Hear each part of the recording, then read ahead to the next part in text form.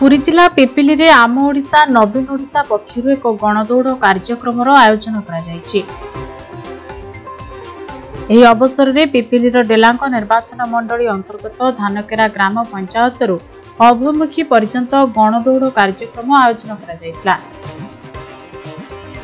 ଏଥିରେ ପାଞ୍ଚଶହରୁ ଅଧିକ କ୍ରୀଡ଼ାବିତ୍ ଯୋଗ ଦେଇଥିବା ବେଳେ କାର୍ଯ୍ୟକ୍ରମରେ ପିପିଲି ନିର୍ବାଚନ ମଣ୍ଡଳୀର ବିଧାୟକ ରୁଦ୍ରପ୍ରତାପ ମହାରଥୀ ପିପିଲି ଯୁବ ଉପସଭାପତି ଦେବାଶିଷ ନନ୍ଦ ଡେଲାଙ୍ଗ ବ୍ଲକ ଚେୟାରମ୍ୟାନ୍ ବାସନ୍ତୀ ସାହୁଙ୍କ ସମେତ ବହୁ ବିଜୁ ପ୍ରେମୀମାନେ ଯୋଗ ଦେଇଥିଲେ।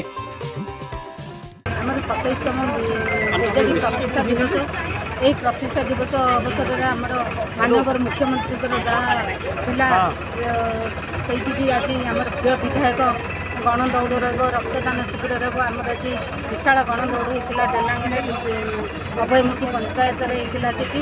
ଧାନକେରାରୁ ଅଭୟମୁଖୀ ଯାଏଁ ଆମର ବିଶାଳ ଗଣଦୌଡ଼ ହୋଇଥିଲା। ସେଥିରେ ଯୁବକ ଯୁବତୀ ଭାଗ ନେଇଥିଲେ। ଫାଷ୍ଟ ସେକେଣ୍ଡ ଥାର୍ଡ଼ର ବିଧାୟକ ବି ଆୱାର୍ଡ଼ ଦେଇଥିଲେ ଏବଂ ସେମାନେ ମୁଁ ଏବେ ପିପିଲିର ନେତୃତ୍ୱ ଏବଂ ଡେଲାଙ୍ଗର ନେତୃତ୍ୱକୁ ପ୍ରିୟ ବିଧାୟକଙ୍କୁ ଧନ୍ୟବାଦ ଦେବି। ଯାହା ହଉ ମୋ ଡେଲାଙ୍ଗ ବ୍ଲକରେ ଆଜି ଦୌଡ଼ଟି କରି ଲୋକଙ୍କର ସଚେତନତା କରିଛନ୍ତି ଏବଂ ପିଲାମାନଙ୍କର ଯୁବକମାନେ ବହୁତ ଆଗ୍ରହୀ ହେଉଛନ୍ତି ଏବଂ ଯୁବତୀମାନେ ବି ବହୁତ ଆଗ୍ରହୀ ଏଥିରେ ଭାଗ ନେଇଥିଲେ।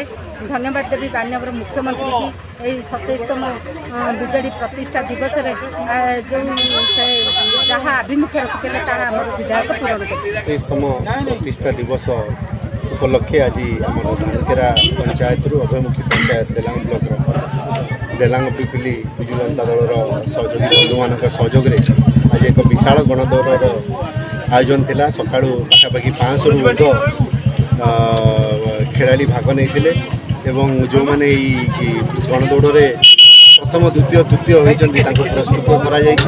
ତା ସହିତ ଦେଖିକି ଆମ ନିର୍ବାଚନ ମଣ୍ଡଳୀର ଏତେ ସଂଖ୍ୟାରେ ଆଥଲେଟ୍ସ ଭାଗ ନେଇଥିଲେ ଏବଂ ଏଇ ରେସ୍ଟିକୁ କମ୍ପ୍ଲିଟ୍ କରିଛନ୍ତି ପାଖାପାଖି ଅଢ଼େଇ କିଲୋମିଟର ରେସ୍ ଥିଲା ମାରାଥନ୍ ଥିଲା। ତାକୁ ମଧ୍ୟ ସେମାନେ କମ୍ପ୍ଲିଟ୍ କରିଛନ୍ତି ଏବଂ ଆଗାମୀ ଦିନରେ ମଧ୍ୟ ଯେମିତି ଆମର ପ୍ରିୟ ମୁଖ୍ୟମନ୍ତ୍ରୀ ସଦାବେଳେ ଖେଳକୁ ପ୍ରାଧାନ୍ୟ ଦେଇ ଆସିଛନ୍ତି ଆମର ବି ସେଇ ପ୍ରୟାସ ରହିଛି।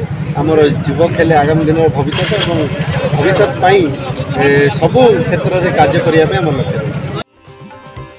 ଡେଲାଙ୍ଗରୁ ସୌମ୍ୟକାନ୍ତ ବେହେରାଙ୍କ ରିପୋର୍ଟ ସମୟ ଲାଇଭ୍